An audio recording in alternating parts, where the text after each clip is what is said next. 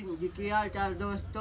ਤੋਂ ਸਿੱਧਾ ਮੈਸੇਜ ਕਰੋ ਬਈ ਜਿਹਨੂੰ ਚੱਕਰ ਆ ਤੇ ਦੱਸੋ ਤਾਂ ਕੀ ਪ੍ਰੋਬਲਮ ਆ। ਠੀਕ ਆ ਨਾ?